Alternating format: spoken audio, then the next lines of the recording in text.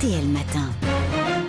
7h49, Jean-Michel Apathy, vous recevez notre ancien ministre socialiste de l'Éducation nationale, Vincent Payon. Bonjour Vincent Payon. Bonjour Jean-Michel Apathy. Vous avez gardé le silence depuis plus d'un an. Vous avez été ministre de l'Éducation nationale entre mai 2012 et avril 2014. Ce sont les gouvernements de Jean-Marc Ayrault. Et ce matin, vous avez choisi RTL pour reprendre la parole. Soutenez-vous ou ne soutenez-vous pas la réforme du collège présentée par Najat Vallaud-Belkacem, qui est très critiquée, il faut bien le dire.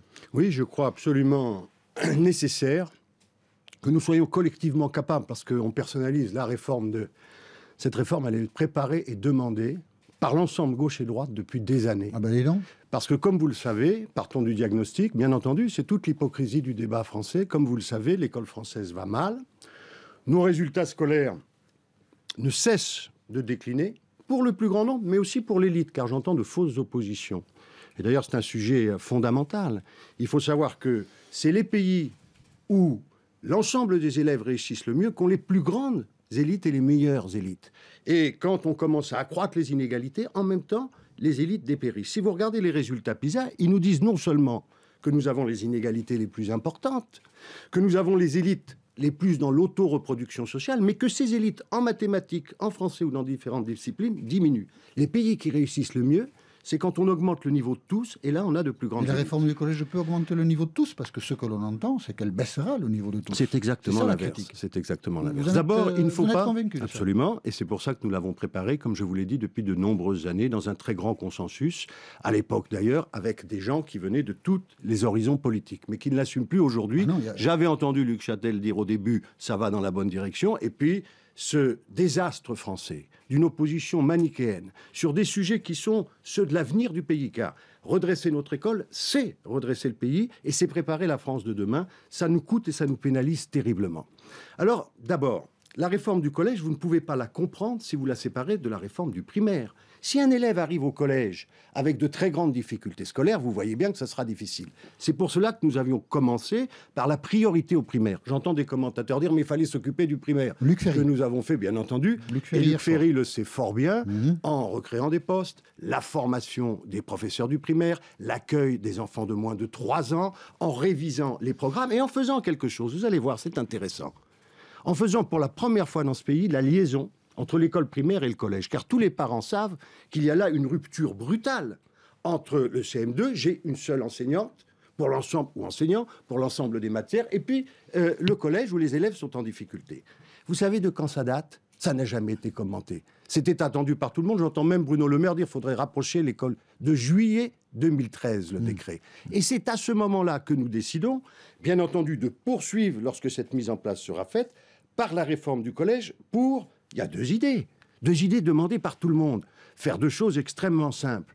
D'une part, donner un peu d'autonomie, vous entendez ce mot Oh. C'était la gauche qui le réclamait, un peu d'autonomie aux, Aux équipes enseignants. pédagogiques sur le terrain. 20% du temps. Pour Mhm. qu'en fonction du besoin individuel de leurs élèves ou du besoin collectif d'un groupe, ils puissent adapter ce qu'on appelle la dotation horaire aux élèves. Même ceux qui critiquent la réforme réclament ça. Ben, C'était demandé, mais alors euh, où est ce consensus? Même à gauche, il y a beaucoup de critiques. On entendait Jean-Luc Mélenchon au grand jury hier soir. Je ne soutiens pas cette réforme. Beaucoup d'enseignants seront dans les rues demain. Où est passé le consensus? Eh bien, il faut le recréer. Il faut que chacun se sente responsable de cet échec français. Et d'ailleurs, toujours sur le dos des plus jeunes, dans plein de, de sujets, hein, sujets économiques, sociaux. Et là, l'école. Il faut mesurer pour un pays qui a cette anxiété sur lui-même, sur son avenir, sur son identité, ce que veut dire chaque fois sacrifier l'école. Il fallait redonner une demi-journée de classe pour mieux apprendre. Il fallait reformer les professeurs. fallait accueillir les moins de 3 ans. fallait faire la liaison entre l'école et le collège. Il faut poursuivre, réviser les programmes. J'entends la confusion totale entre réforme des programmes et réforme du collège. Ce sont deux choses différentes. Bien sûr. Et j'entends que le ministre ferait les programmes. J'ai créé dans ce pays, pour précisément faire en sorte que tout le monde soit impliqué, un conseil indépendant du ministre qui s'appelle le Conseil supérieur des programmes, Mhm. dans lequel siègent des gens de droite et de gauche. Et c'est eux qui ont fait ces propositions, qui sont mises en débat comme on nous l'avait Et demandé. qui sont critiquées, elles aussi. hein. Mais qu'il y ait un débat. Le latin, le grec, l'histoire, euh, la, la disparition des classes bilingues, ça c'est peut-être une erreur quand même. Mais comment vous expliquer. Si vous me permettez, je suis un vieux professeur. Donc pour moi, 2 plus 2, Ah, ça fait vite. 4 et ça fait pas 5. D'accord. Alors on triple en 4 ans le recrutement des professeurs d'allemand. C'est pour faire moins d'allemand? C'est pour aller garder les vaches?